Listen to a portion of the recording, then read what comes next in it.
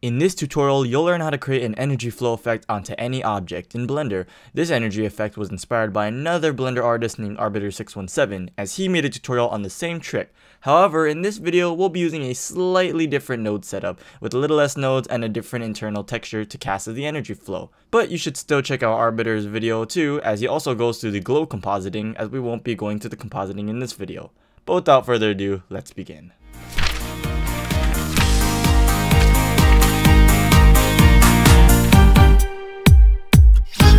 So we're going to test out the energy flow effect onto this gold sphere. So go into the node editor and click the add button down here or click shift A and search for the Musgrave texture node.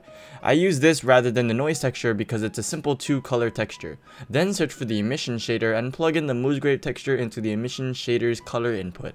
We want to then apply the Musgrave texture onto our current texture material. So I'm going to add in an add shader node and combine the two. As you can see, we get this weird looking textured color on the sphere, which isn't what we want. To translate the Musgrave texture into an energy flow, we want to eliminate the dark colors of the Musgrave texture. Good thing the texture is in black and white, which makes it dead easy, since we only have to eliminate the color black rather than multiple colors like blue and purple.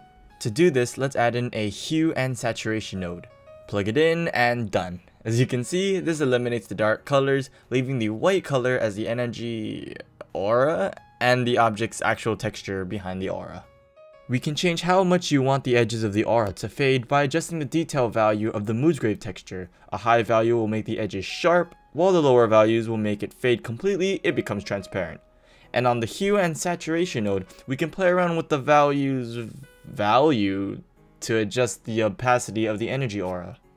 But what if we don't want our energy flow to be white? Well, we can simply do that by adding in a RGB curves node and plugging it in in between the hue and saturation node and the emission shader. When changing the color, it's best to only play around with the red, green, and blue curves. You can play around with them all to see if you can get a color or texture or gradient or whatever you like. The possibilities are, well, kinda limitless. For the animation or just for the placement, if we want the energy flow to move across the surface of your object, we can add in a texture coordinate node and a mapping node. You can add in keyframes into the location values of the mapping node to create an animation of the energy flow. If you guys want, I can make a future tutorial about using nodes to create keyframes and animation, or you can simply just search one on YouTube.